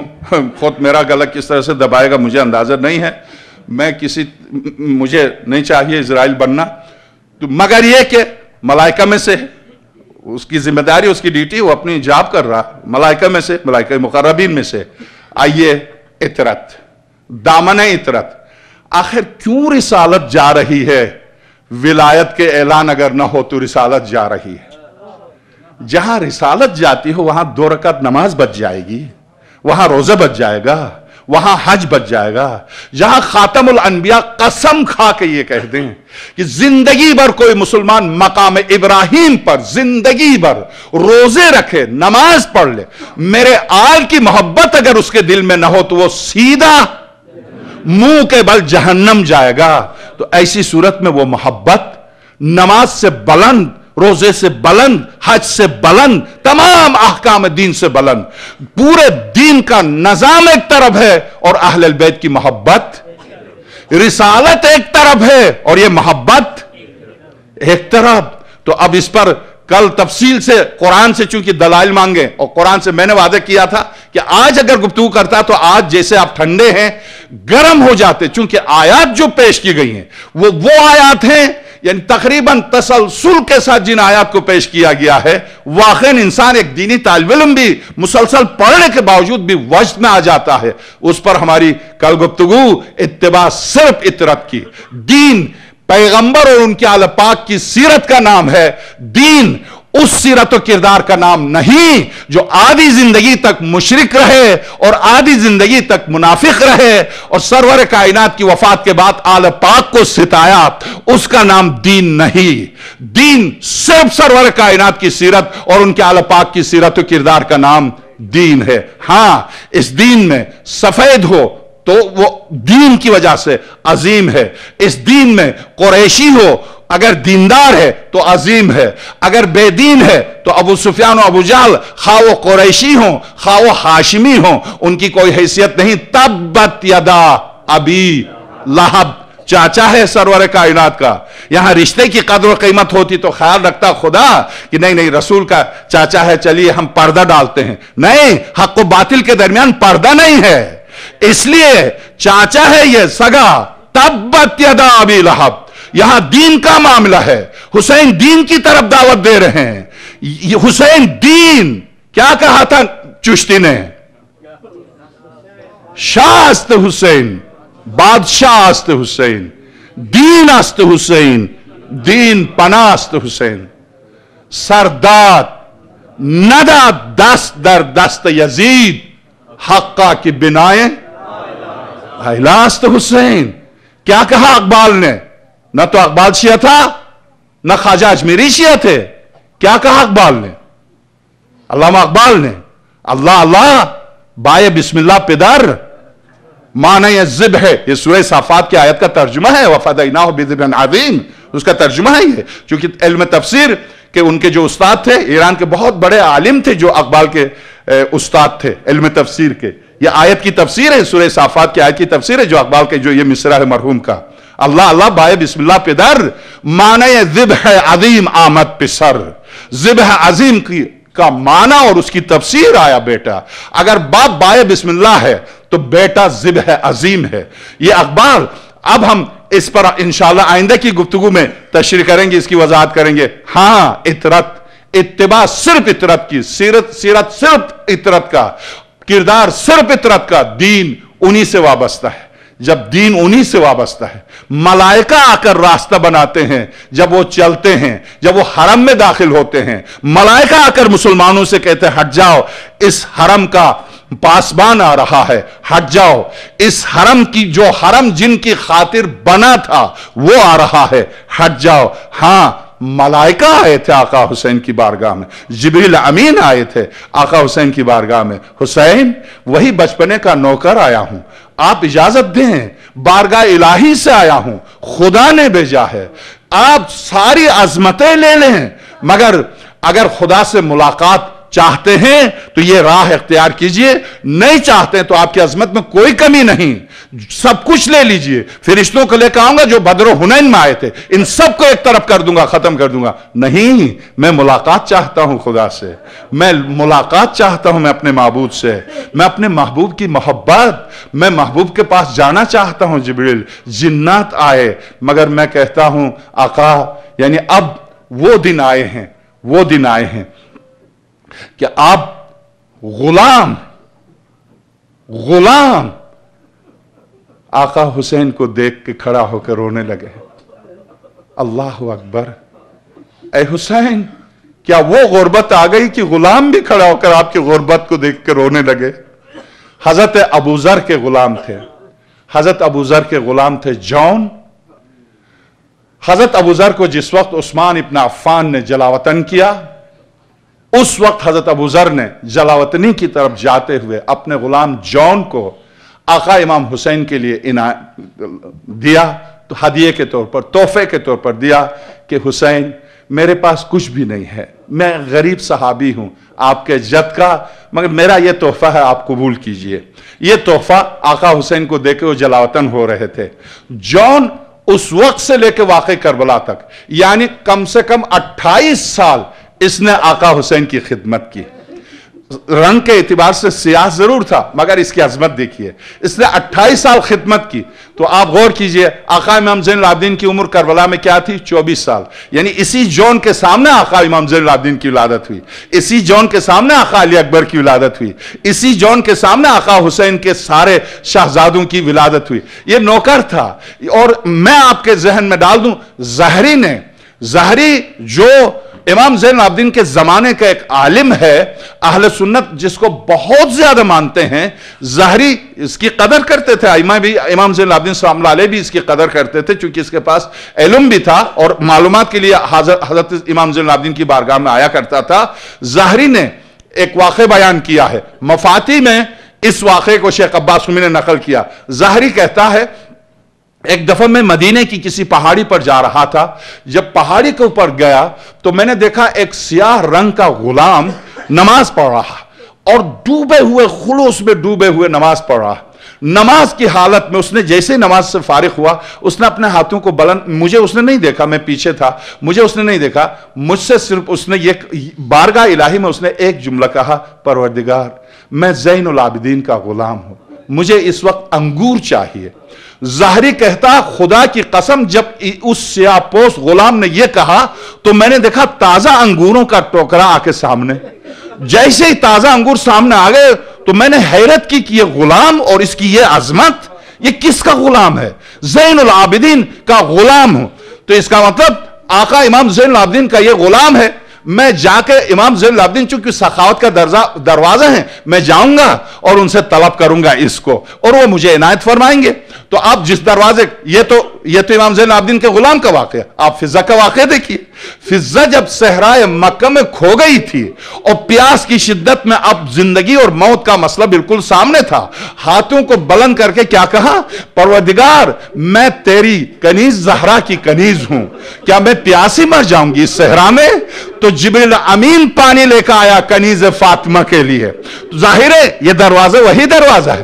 तो अब जब जाहरी कहता है, मैं गया आका इमाम जैन आबदीन की बारगाह में और जाकर मैंने कहा फर्जंद रसूल तो अब आ, आ, खुद ज़ाहिर कहता मेरा बहुत एहतराम किया करते थे फर्जंद रसूल खुदा। मैंने जब उनकी बारगाह में जाकर दरख्वास्त की फर्जंद रसूल आपका लुत्फ करम आपकी नवाजिश ए जन्नत बख्शने वाले ए महल्लात बख्शने वाले मैं एक मुख्तसर सा सवाल लेकर आया हूँ। मुझे यकीन आप मुझे महरूम नहीं फरमाएँगे। तो आका इमाम जैन आबदीन ने फरमाया जहरी क्यों इस कदर परेशान हो? बताओ तुम क्या चाहते हो? मौला मुझे एक गुलाम चाहिए। हज़रत के उस वक्त तकरीबन नौ गुलाम थे सबको बुलाया। ये जईफ था इसको नहीं बुलाया। जब आए, आठ गुलाम एक एक को देखा, जहरी ने कहा फजन रसूल, ये नहीं है, ये नहीं है, ये नहीं। हज़रत ने फरमाया, यही तो तेरा काम कर सकते हैं। एक जो रह गया है, वो काम का नहीं है जयीफ है, हम उससे कोई काम नहीं लेते। कहा फजन रसूल, मुझे वही चाहिए। तो एक मर्तबा, जब उस गुलाम को बुलाया तो जहरी कहता, मैंने कहा फजंद रसूल, मुझे यही चाहिए। तो कहा, उस गुलाम का नाम लेके, गुलाम, मैंने जहरी के हवाले कर दिया। जैसे ही मैंने कहा, गुलाम रोने लगा। कुछ भी नहीं कहा, खड़े होकर रोने लगा। जब रोया तो हज़रत ने फरमाया, रोना नहीं, तुझे कोई तकलीफ़ नहीं होगी, इसकी मैं तुझे ज़िम्मेदारी देता हूँ। फर्जंद रसूल, क्या इस दरवाजे से जाना खुद यही तकलीफ़ नहीं है? मैं इस दरवाजे से जाना नहीं चाहता हूँ, ये मुझे क्यों लेके जा रहा? तो हज़रत ने फरमाया, नहीं, इन्होंने मुझसे मांगा है, मैं मजबूर हूँ, मैंने दे दिया अब तुम चले जाओ। अब जब दरवाजे पर निकले तो रोकर कहा, सच बता दो जहरी, मुझे क्यों इस दर रहमत से हटा रहे हो? क्यों ले जा रहे हो? तो जहरी ने कहा, क्या तुम वही नहीं हो जिसने नमाज़ पढ़ के दुआ मांगी थी और अंगूर आए थे? कहा, क्या तुमने देखा था? हाँ, मैं तुम्हारे पीछे खड़ा था। उसी वक्त इस गुलाम ने हाथ बुलंद किए। परवरदिगार, ये तो मेरे और तेरे दरमियान रास था जो फाश हो गया। मुझे अब ज़िंदगी नहीं चाहिए। यही एक जुमला कहा, मुझे ज़िंदगी नहीं चाहिए, वहीं पर उनका इंतकाल हुआ। खुद हज़रत के दरवाजे पर उनका इंतकाल हुआ। यह उस, इस दरवाजे के गुलामों की हालत। जॉन, जिसने 28 साल आका हुसैन की खिदमत की, आया। हज़रत की बारगाह में आया। हबीब, मुस्लिम मुस्लिम नौसजा अबू तवाम सैदावी जुहैर कैन, सब शहीद हो चुके हैं। ये खेमे में, चूँकि सारे अहल बैत ज़ाहिर है कि सरवर आका अब अब्दुल्ला हुसैन के बच्चे इसकी गोद में पले थे, ये खादिम था, नौकर था। जब ये आया, दो रास्तों में कशमकश कि जाके शहीद होता हूँ, जिनको मैंने मेहनत करके पाला है, इस मोहब्बत को क्या करूँ? शहीद नहीं होता हूँ तो आप खीमे के दरवाजे पर मेरे आका आप गरीब हो गए हैं। मैं कैसे हुसैन की गुर्बत को देख सकता हूँ? मुझे जाना चाहिए। आया आका हुसैन के कदमों पर इसने सर रखा। जॉन, सर उठा लो। आका, नहीं। उस वक्त तक नहीं उठाऊँगा जब तक आप मेरी हाजत पूरी नहीं करेंगे। मैं तुम्हारी हाजत पूरी कर दूँगा। उठा लो। आका, मुझे इजाज़त दीजिए। जॉन, तुझे पता है कि आहल हरम के साथ तुझे वापस जाना है। बस ये जुमला सुनना था। जॉन ने मिट्टी के ऊपर मुँह रखा, कहा, आका, अगर मुझे इजाज़त दें हाँ, क्या बात है? मैं आपको एक ही वास्ता दे सकता हूँ और वो शहजादी जहरा का वास्ता। मुझे इजाज़त दे, मैं पलट के नहीं जा सकता। मैं यहाँ से पलट के ज़िंदा नहीं जा सकता। आका मुझे इजाज़त दीजिए। तो हज़रत ने साहिब रियाजुल कुदस ने और साहिब नफसल महमूद शेख अब्बास कुमी दोनों ने लिखा है। हज़रत ने फरमाया, जॉन, तुम तो सलामती की खातिर हमारे पास आए थे, न कि इन मसाइब की खातिर। जॉन ने कहा, मौला वो गुलाम कैसा? जो मसाइब में तो आपको तनहा छोड़े और राहत पे आपके साथ हो? मुझे नहीं चाहिए आका। मुझे चाहिए मैं चला जाऊँगा। सरवर कायनात की बारगाह में मुझे इजाज़त दे दे। जब इसने बहुत ज़्यादा इसरार किया और उधर से भी हज़रत ने जब तामुल किया कि क्या वाकन तो जॉन ने एक जुमला कहा जिस पर आका हुसैन खड़े होकर रोए हैं। क्या? आका, क्या आप मुझे इसलिए इजाज़त नहीं देते कि मैं काला हूँ? इसलिए इजाज़त नहीं देते कि मेरे पसीने से बदबू आती है। यह जुमला जब सुना तो आका खड़े हो गए। फरमाया, जॉन, जिस मकतब में तुम पले हो, क्या उस मकतब में ये बातें हुई? तेरी अजमत है? किसने कहा? चला जा, मैंने तुझे इजाज़त दी।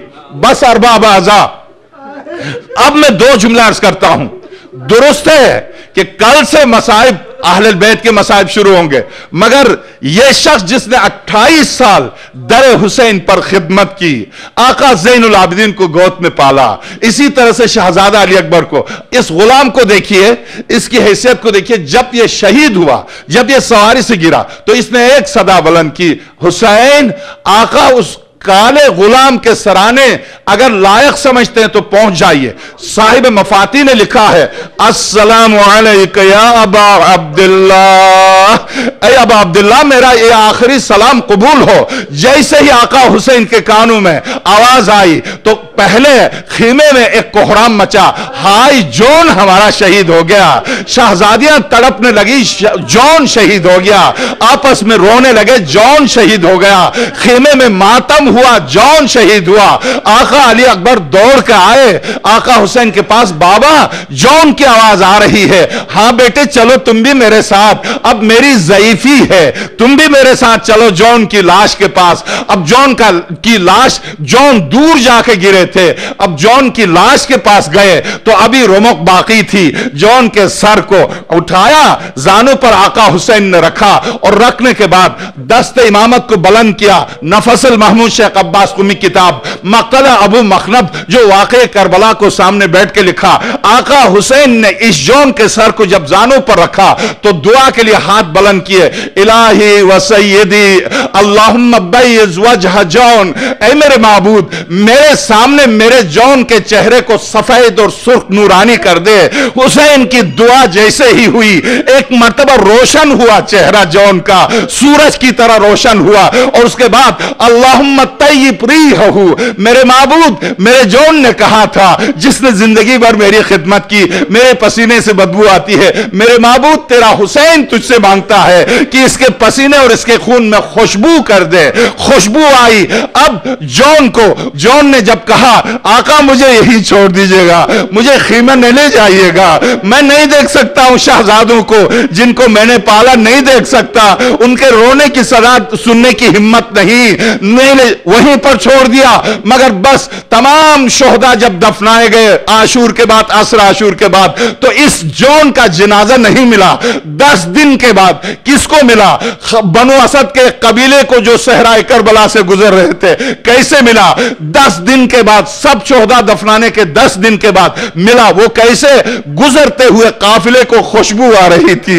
हाय दुआ हुसैन, आका हुसैन की दुआ जौन सलाम हो तुझ पर जौन कुर्बान हो हमारी जाने तुझ पर ए गुलाम हुसैन हम निसार हो तुझ पर ऐसा गुलाम